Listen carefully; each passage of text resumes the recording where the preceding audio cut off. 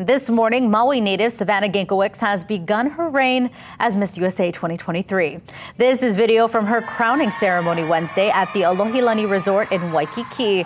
It was followed by entertainment, including singing and hula.